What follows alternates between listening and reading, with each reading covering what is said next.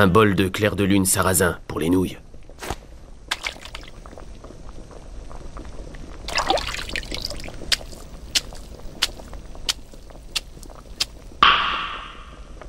Est-ce que vous pourriez mettre l'œuf d'abord?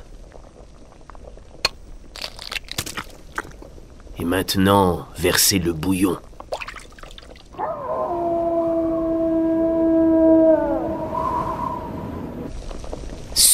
Superbe paysage. Connerie. C'est rien qu'un bol de nouilles.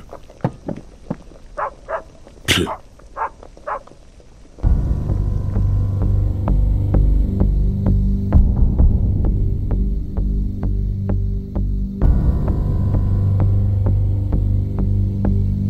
Kiichi Inukai est une des plus grandes sommités de la recherche sur le monde de la restauration rapide. Dans son ouvrage intitulé Généalogie des lignes discontinues, il propose une étude du cas de Ginji Goblalune. D'après Inukai, le prêche de Ginji Goblalune constitue le cœur de ces escroqueries et peut en substance définir ce personnage. Voyons maintenant de quoi retourne ce prêche. Cette analyse est le fruit d'une étude de terrain qui ne démontre pas seulement l'ardeur et la témérité de l'ethnologue hétérodoxe qu'est Kiichi Inukai, mais qui fournit aussi et surtout des résultats inestimables. L'étude de ce prêche met tout simplement en lumière le noyau dur à l'origine de ce qu'on appelle les escroqueries des écumeurs de gargote. Connerie. C'est rien qu'un bol de nouilles. En effet, il s'agit bien d'un simple bol de nouilles. Notons en outre que ces mots sortent de la bouche de celui-là même qui les a cuisinés.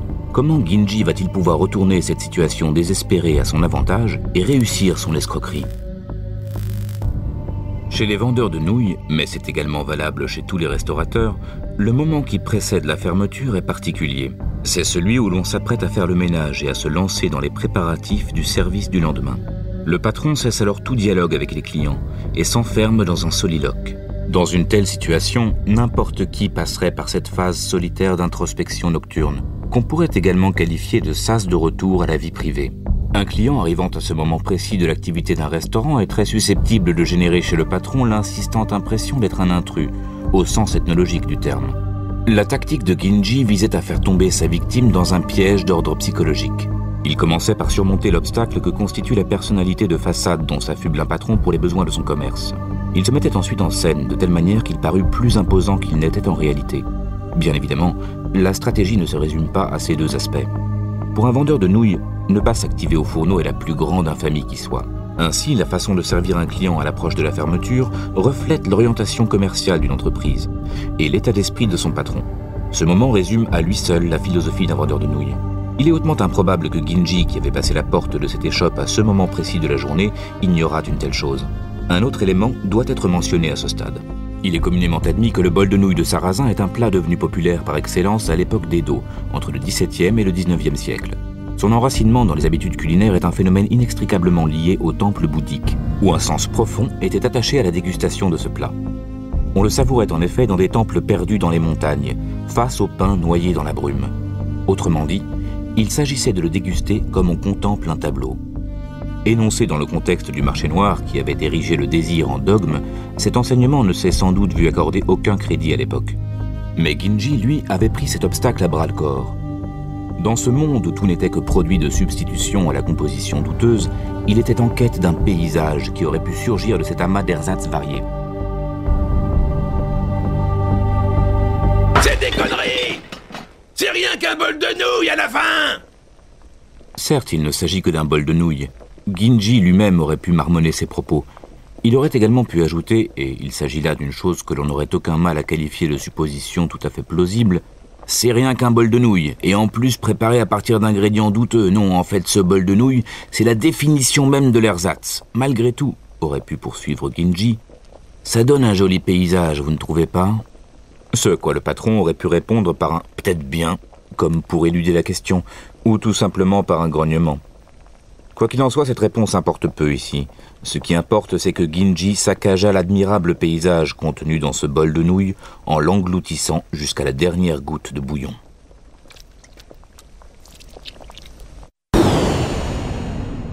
Quel qu'il soit, un paysage ne brille de tout son éclat et sa splendeur qu'à l'instant où il va disparaître.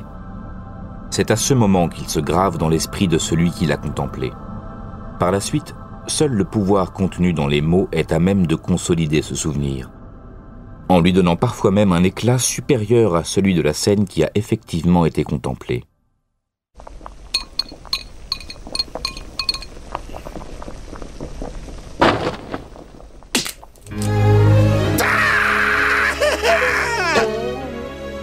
Authentiques ou douteuses, des nouilles de sarrasin une fois englouties finissent toujours dans la même rivière.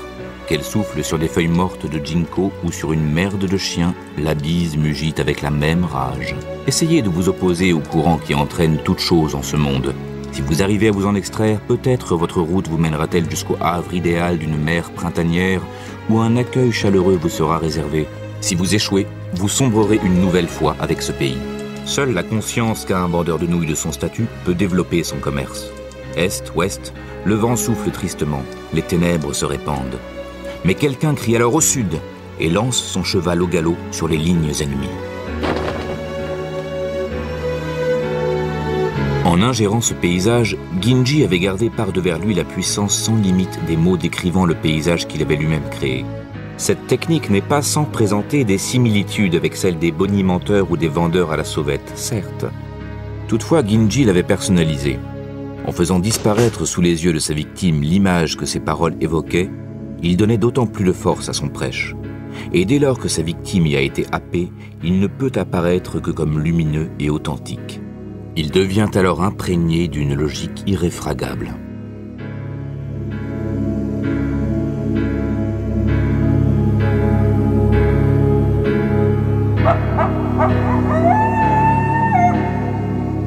Quel que soit le regard qu'on porte sur cette conclusion, le simple fait de chercher à la remettre en cause ne fait qu'accentuer sa pertinence, lui conférant ainsi une valeur distincte qui souligne son originalité.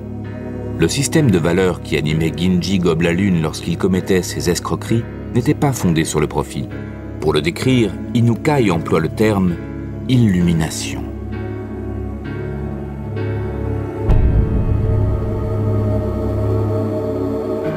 Ginji ne fut jamais en quête de profit. En aucun cas on ne peut l'assimiler au naturaliste dont regorgeait le marché noir. En fait, Ginji incarnait l'illumination de la société de l'après-guerre.